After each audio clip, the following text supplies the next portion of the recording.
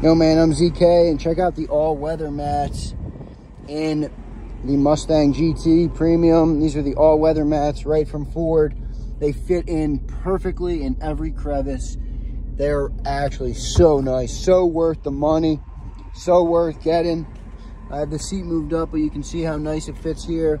And then even the mini back ones fit perfect as well. So these are a buy for your Mustang GT Premium